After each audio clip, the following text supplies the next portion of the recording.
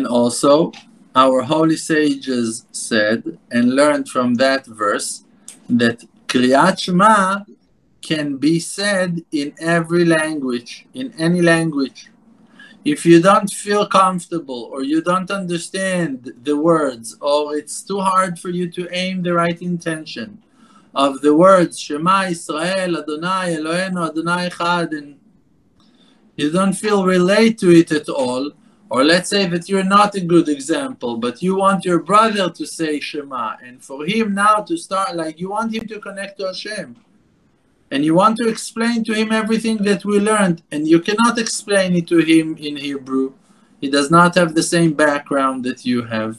The words does not mean so much for him. But if you will talk to him in, in Portuguese, he, he, he, he will get it if you will talk to him in the language that he understands, it will be much easier for him to grasp. It might be very fast for him to catch it. So he is allowed by the words of the sages to say Shema Israel Adonai Eloheinu Adonai Echad in Spanish, in Portuguese, in Indonesian, in English, in Moroccan, in any language that he understands. Because the main thing is that it will get into the heart, that you will really do.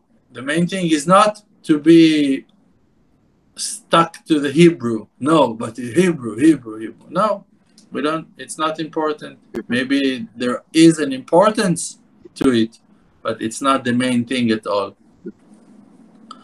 Key, because how did they learn it? How did the sages came to that conclusion that you allow to say it in your language? Because it's written Shema, listen. so, can you listen to Hebrew? No, I don't understand. It's like Chinese. Okay, listen. What? Like what? I I don't hear. I can't hear. I don't understand. It's not the voices. We need the meaning, the, the intention. If you cannot understand it, it's like you never heard it. You hear what I'm saying? You not you you're not answering. If I will now ask you in a foreign language, do you understand what I'm saying? Mm-hmm. You're not gonna answer. It's like no, I don't. I don't know. In every language that you hear, that you accept, that you receive. Because that by that fact that the person needs to nullify himself to the person to the purpose.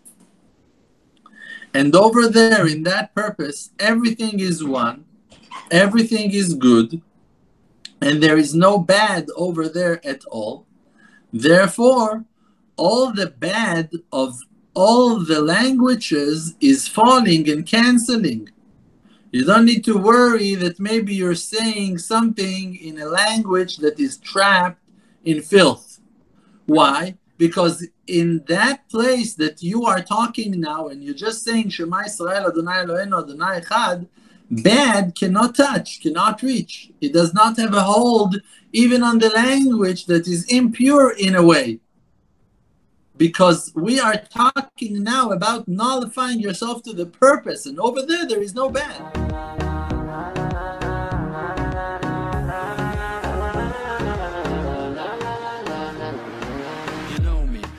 RDMC with Muna project. All the nations with me. Close your eyes, just breathe, see the truth. Don't chase the fake world, don't buy the fake news. Be yourself, your own true self. Don't let no one take our natural wealth. See the good.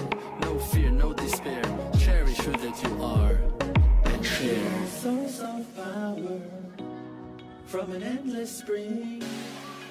Light of courage in yourself. You they can kick you down to the ground. Hold yourself up till you are, put up your crown. King of the creator, holy soul inside. Focus on the spiritual and you shall.